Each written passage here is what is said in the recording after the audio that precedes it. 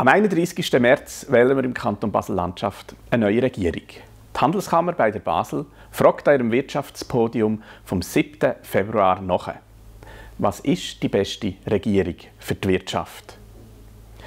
Welche Antworten haben die Kandidierenden auf aktuelle Wirtschaftsfragen? Und was für Visionen verfolgen sie denn? Sie haben die Möglichkeit, über unseren Livestream die Kandidierenden kennenzulernen.